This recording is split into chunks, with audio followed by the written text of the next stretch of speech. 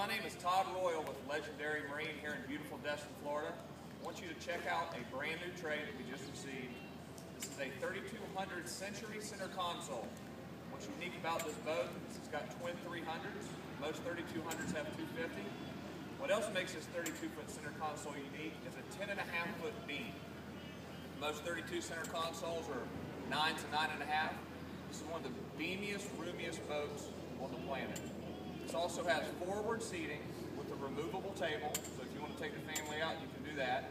It has four oversized macerated fish boxes in the deck, an extremely large console with a head, and a giant cockpit. One thing else you'll notice about Century's T-tops is they are full beam T-tops. They offer more shade than any other T-top in the industry. It's a gorgeous Carolina blue, and it's only priced